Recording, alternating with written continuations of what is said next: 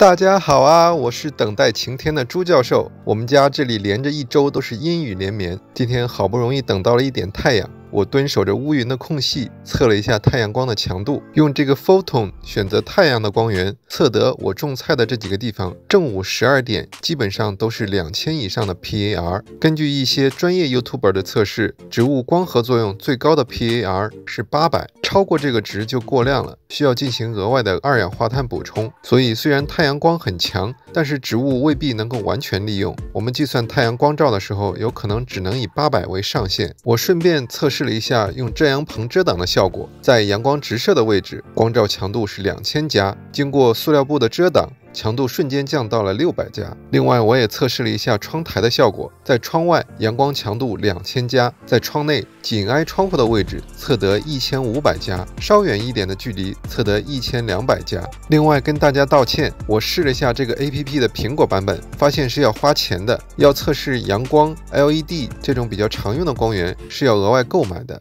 但是据说他们的苹果版本准确率更高，安卓版本因为手机型号太多，所以误差较大。如果追求更精准的数据，可以考虑购买苹果版本的。我后边也会想办法去测试一下苹果版本和安卓版本的误差，看看到底值不值得买。今天就这样了，感谢您的收看，拜拜。